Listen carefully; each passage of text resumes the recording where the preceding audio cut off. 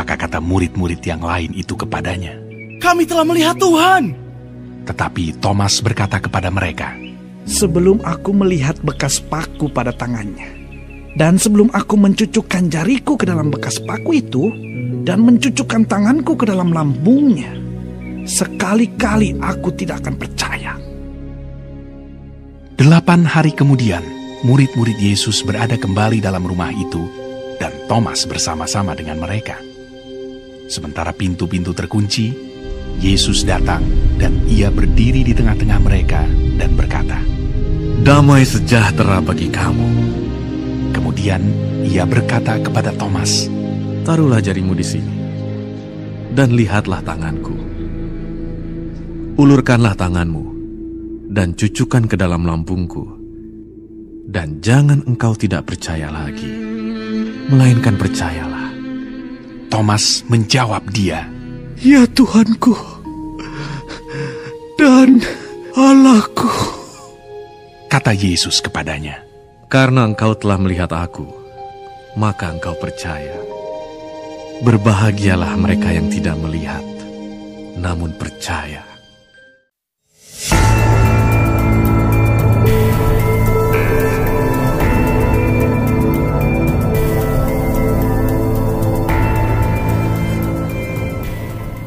Memang masih banyak tanda lain yang dibuat Yesus di depan mata murid-muridnya yang tidak tercatat dalam kitab ini.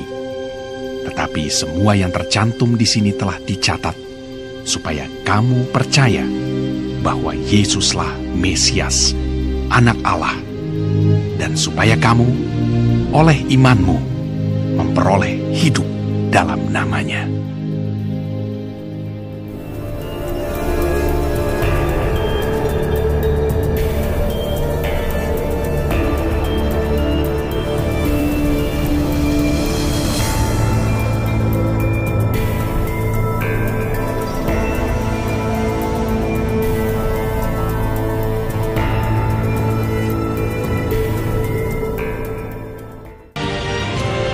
Dialah murid yang memberi kesaksian tentang semuanya ini dan yang telah menuliskannya.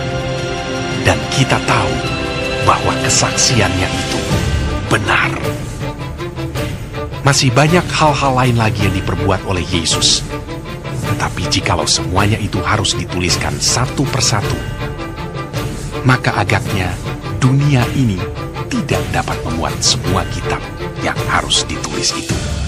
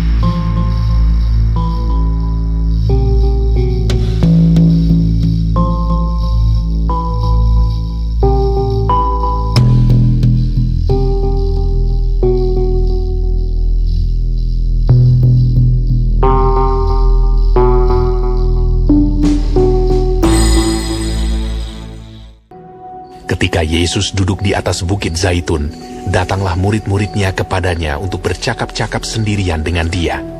Kata mereka, Katakanlah kepada kami, bila manakah itu akan terjadi, dan apakah tanda kedatanganmu dan tanda kesudahan dunia?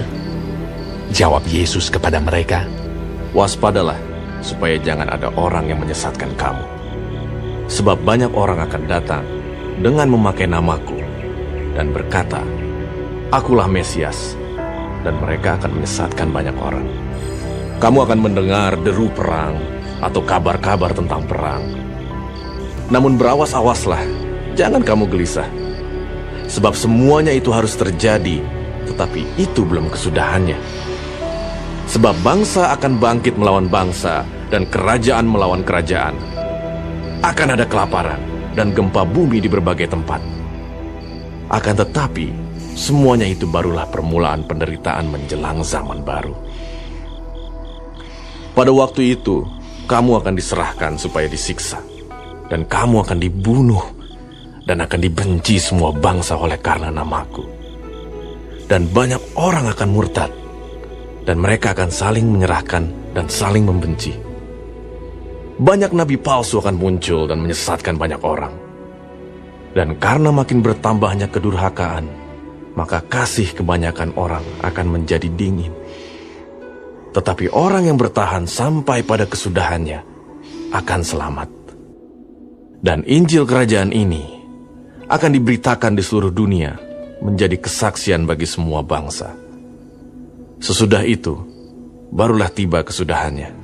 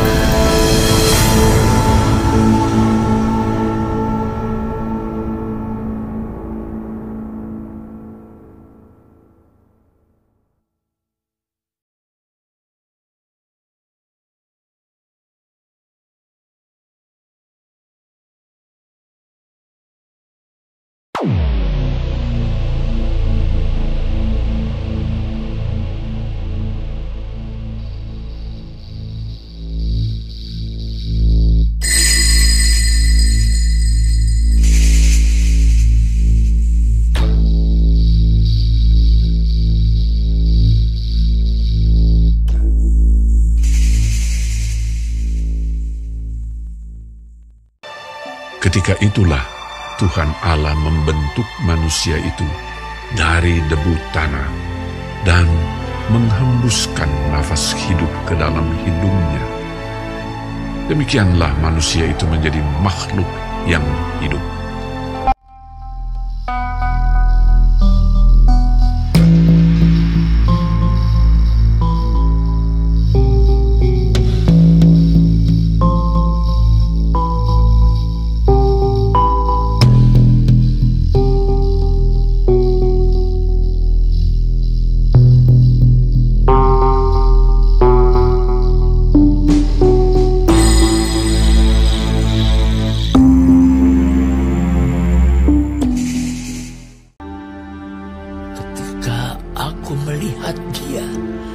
Tersungkurlah aku di depan kakinya, sama seperti orang yang mati.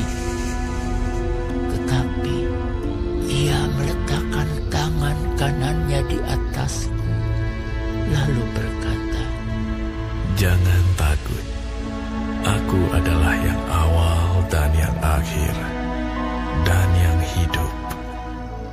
Aku telah mati, namun lihatlah, aku hidup sampai selama-lamanya, dan aku memegang segala kunci maut dan kerajaan maut.